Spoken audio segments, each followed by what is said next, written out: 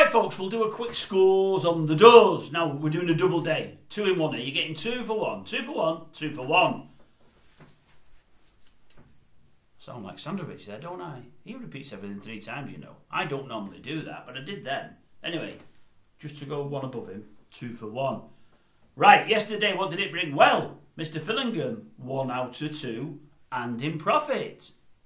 Today, what did that bring? Well, I've recorded it late. I was late. I was waiting for the last one of Mickey's to run. Mickey's done one out of two today and in profit. One of his horses, unfortunately, didn't run, so obviously we can't do anything that. Mind you, I say in profit. If you bet them as singles, you'd be in profit. Uh, there was also doubles there, and there was also a mention of a forecast. If you did everything, you would lose. But if you did the singles today with Mickey's, you're in front. Mr. Fillingham, however, well, if you did his, you're well in front. You're very, very happy. Two out of two. Not bad at all. I'll tell you what, he's on something of a winning run. Is that six days out of seven or seven out of seven? In profit every single day? A couple of days, only marginally.